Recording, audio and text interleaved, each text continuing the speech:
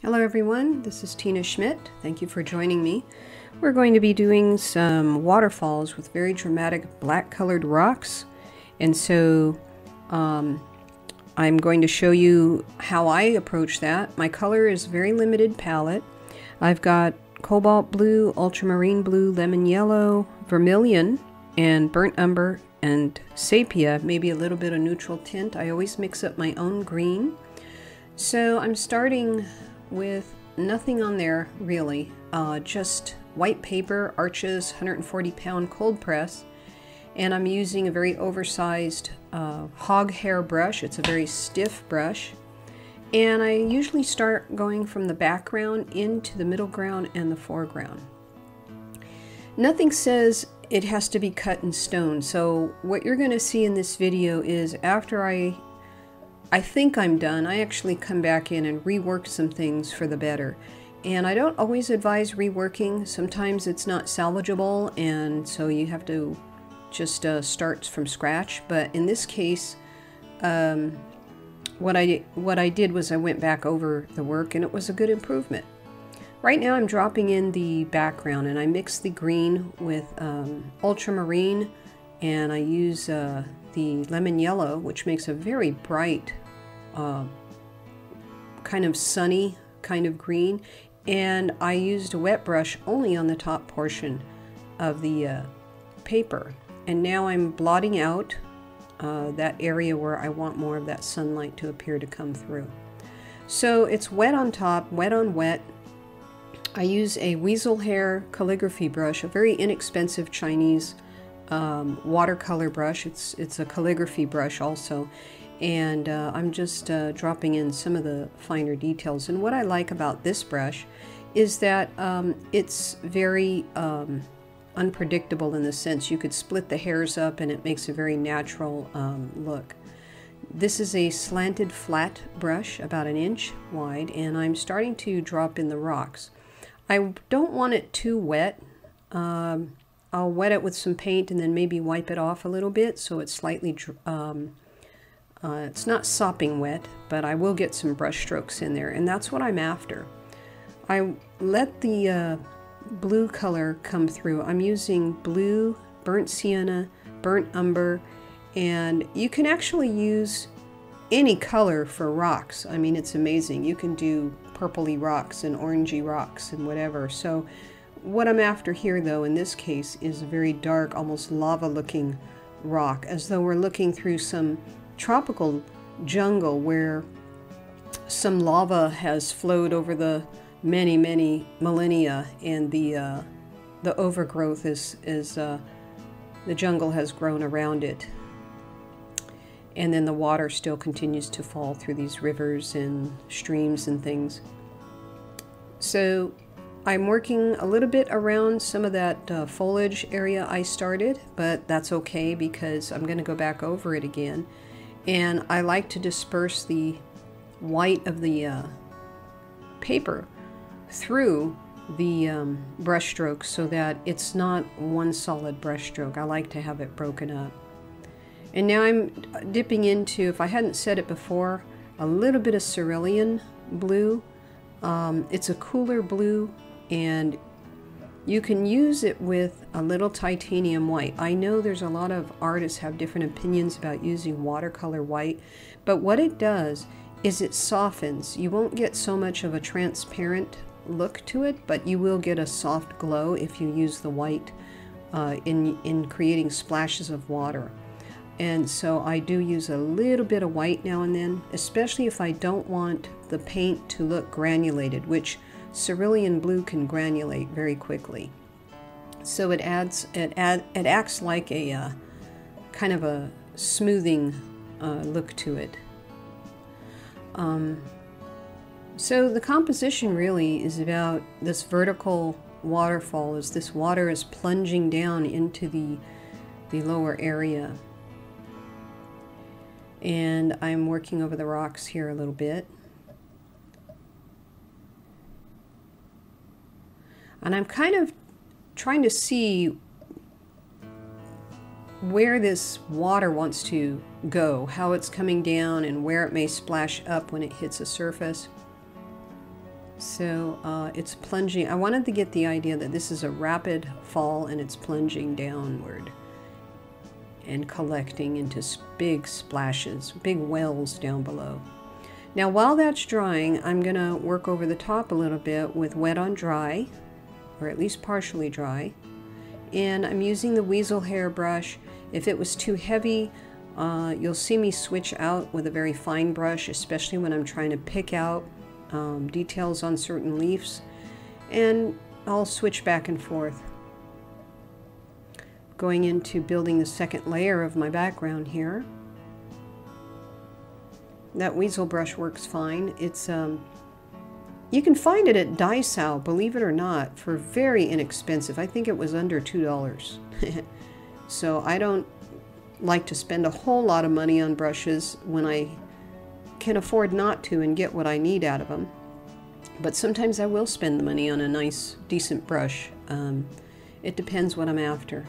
Usually I'm after texture.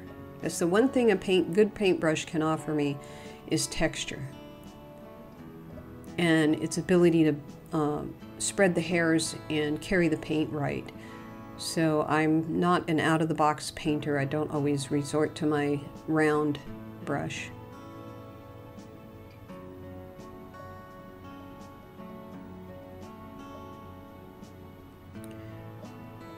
So now I'm kind of sculpting out the form of the water. And water does have form, believe it or not. Um, how it lays over other surfaces, how fast the uh, waterfall is going, is it trickling or is it spraying or is it roaring down? A lot of that will influence how you interpret your waterfall flow.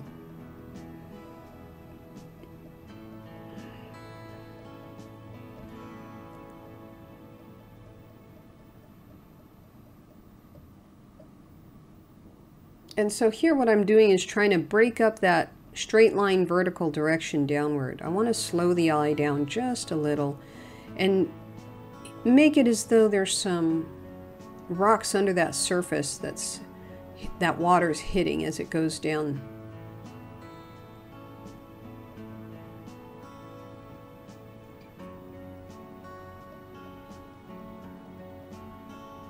And you kind of let the water color paint itself. Um, whether you're doing water or rocks or foliage, there's these sort of randomness to it that um, actually is quite appealing. If you can let go of trying to control and illustrate everything and let the nature of that uh, watercolor sort of take over or, or work in harmony with it, um, it makes a big difference in the outcome.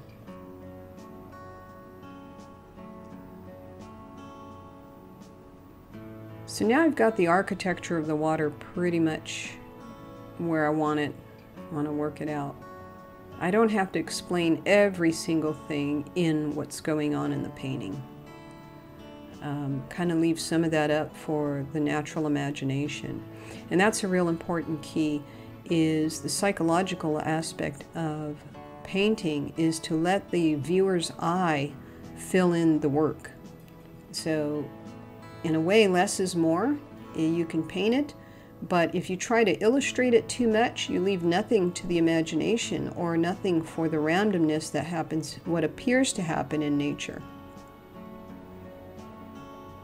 The way things like to grow out and overlap, the way, um, you know, the, the way the waterfalls one day. Um, if you watch a waterfall long enough, you're going to see there's a repetition to it in terms of how it hits the stones and the way it's hitting, but it will never be identical. Every drop is different. So you got to allow some randomness to come into uh, the painting. As long as there's not uh, breaking the laws of gravity. In other words, um, you keep it where it, it's we can follow it as a viewer.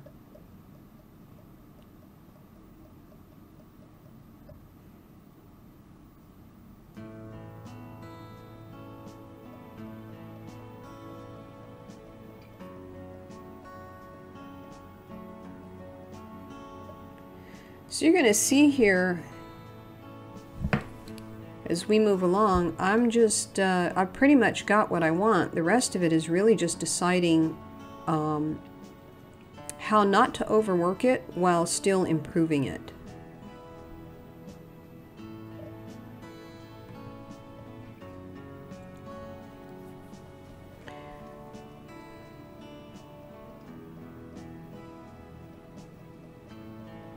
So I've got that in almost in the middle, not quite, but a little off to the left. I've got a shadowy thing going on in my waterfall. And so this is where the real lesson comes in on this video is, you know, do we bring that out? Do we submerge it more? What do we do with it? And suddenly it becomes a problematic thing. So the purpose of this video sort of went in a direction I didn't expect. Um, and now it's going to be about how to come back over and work and it save it's not just about saving the painting but it's about really continuing its process of development.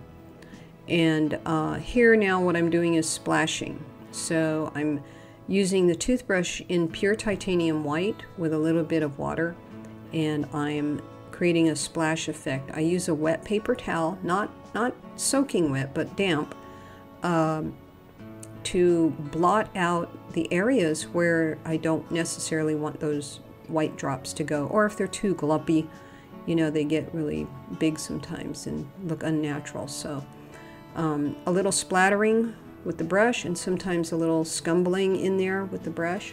So see, I've got this rock now that's emerging. Ooh, let's pick out that bug. I've got this rock emerging and um, I'm creating the splash of that uh, waterfall. And I'm not, I'm like, okay, do we keep that rock in there is it enough or is it too much or is it not enough? And you'll see as we go along, I walk away from it a little bit and I work on other areas of the painting and then I try to see if, uh, if that thing is still bothering me again. So now we're getting the rocks and the water to speak the same language. We're getting that where the rain, uh, the water um, pours down on it and splashes around it. I've got my left hand shielding areas where I really don't want it to go too much.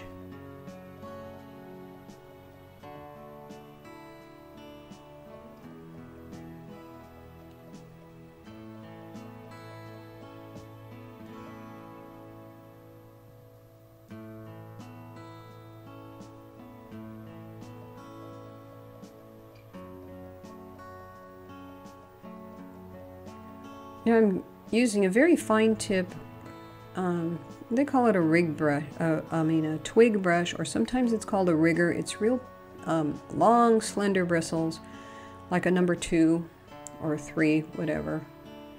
And I'm just creating these water textures, water strands. I'm using pure titanium white Sometimes I'll use the little bit of green to come in and over, overlap some foliage up top with that brush.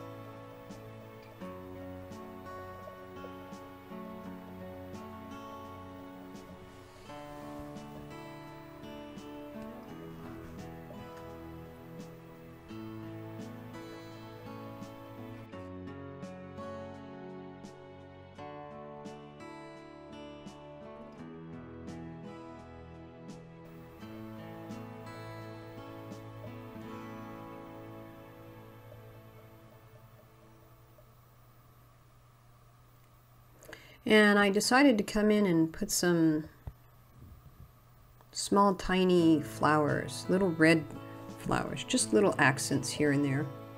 Um, like, I don't know, little baby breath type. Just something to add some accent to it. And then what happens is, you know, I think I'm done but something still bothers me about this work. So you're never really done until you're really done, and just because you put your signature on it doesn't mean you cannot go back to it. So yeah, I'm thinking, okay, but there's something still bothering me about it, and it has to do with this, this other rock, but we'll get to that in a minute. So I decide to put some little more accents on those flowers. Not a lot. Few twigs. Can use a little bit of the white in there so it can paint nicely over that black. And I'm just using watercolor black. I'm not using any ink. So this worked fine for me. And then um, I said, okay, that rock that is underneath that fall is wanting to come out. Otherwise, it just looks like water doesn't know how to fall downhill. And so I come back in after I let it dry a few minutes. That part there I'm not real happy with, so I'm going to come back in. Um, once I get this foliage done, I'm going to come back in there and really tackle that, uh, that rock.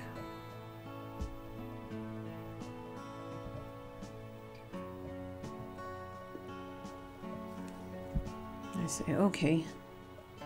It's suspicious hanging there like that. So why not bring it out? Why hide it? It just looked funny. It looked like water didn't know how to fall down gravity very well. So I came back in. Probably a few minutes later, maybe it was an hour later, I don't know. I said, you know, there's something about that that bothers me. I'm going to go back in there.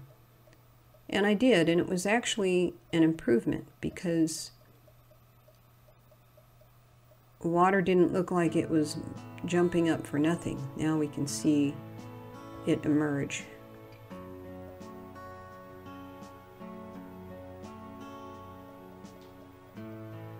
Now I'm coming in to get some water spray around it to help it uh, feel as though that water is just really enjoying splashing over that rock.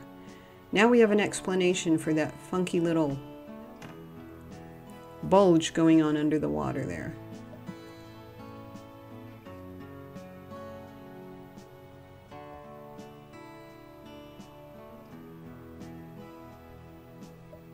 There's nothing wrong with retouching your work or coming back over it. Once, if you feel something is not right with it, it's it, no sense in getting frustrated. Just look at what the, the painting wants to tell you. If there's something else about it, you can bring, bring its magic out. Anyway, I think we're almost done here. Um, a few little touches and I'll be done. I want to thank you. Please like and subscribe and uh, come back and visit some more and I'll be happy to um, take some of your suggestions. Be safe, God bless you, and have a wonderful day and keep painting. Thank you for coming by.